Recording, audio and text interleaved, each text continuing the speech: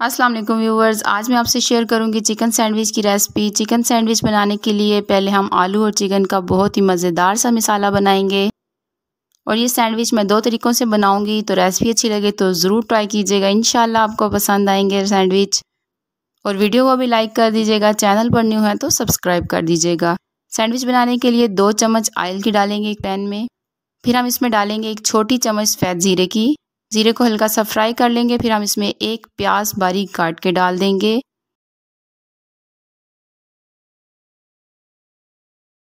प्याज़ों को हमने अच्छा सा फ्राई करना है, बिल्कुल सॉफ्ट होने तक हमने अच्छे से फ्राई कर लेंगे अच्छा सा इसका कलर चेंज हो जाएगा जब। तो हम इसमें डालेंगे दो सब्ज़ मिर्चें बारीक काट के।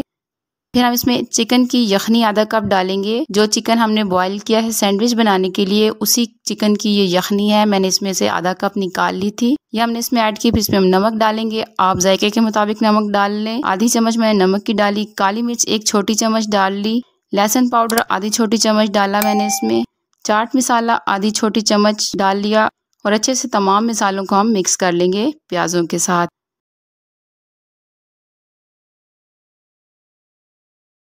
फिर हम इसमें बॉईल किए हुए आलू डाल देंगे। दो बड़े साइज़ के मैंने आलू बॉईल कर लिए थे और मैंने आलूओं को बिल्कुल बारीक पीस लिया था। फिर हम इसमें डालेंगे बॉयल चिकन चिकन में मैंने पानी और नमक डाल के अच्छे से चिकन को बॉईल कर लिया था। अच्छे से मिक्स करेंगे, फिर चूल्हे को बंद कर देंगे और फिर हम इसमें डालेंगे चिली सॉस तीन से चार चम्मच। अगर आपके पास चिली सॉस ना हो तो आप केचप इसकी जगह ऐड कर लें और मायोनीज भी हम इसमें तीन से चार चम्मच डाल देंगे। अच्छे से मिक्स करेंगे। बहुत ही मज़े का, बहुत ही अमेजिंग मिसाला बन के तैयार होगा। इनशाला आपको पसंद आएगा। ये मज़ेदार सा मिक्सचर सैंडविच का बन के तैयार है।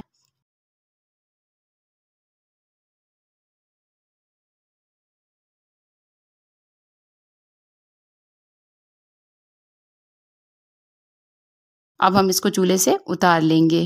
अब ले लेंगे ब्रेड इसको साइड पर रखेंगे मिक्सचर को भी पास रख लेंगे, जो हमने सैंडविच के लिए बनाया है।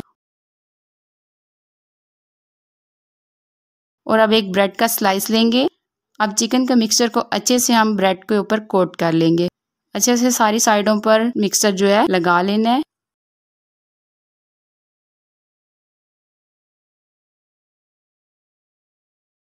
फिर ब्रेड की दूसरी स्लाइस से मिक्सचर को कवर कर देंगे। अच्छा सा सैंडविच बन के तैयार हो गया। आप सैंडविच की कटिंग करेंगे।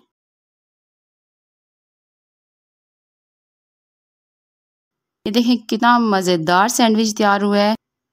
जिस तरह देखने में ही बहुत अच्छा लग रहा है तो खाने में बहुत ही मज़ेदार है। अब सारे सैंडविच मैं बना लूँगी, फिर हम कुछ सैंडविच जो है, सैंडविच मेकर में बनाएँगे और कुछ तवे पर फ्राई करेंगे। सैंडविच मेकर को पहले हम आयल से अच्छे से ग्रीस कर लेंगे।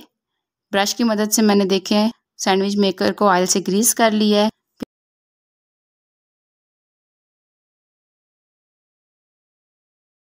इसके ऊपर हम सैंडविच रखेंगे। दो सैंडविच मैं रख रही हूँ और फिर हम सैंडविच मेकर को बंद कर देंगे।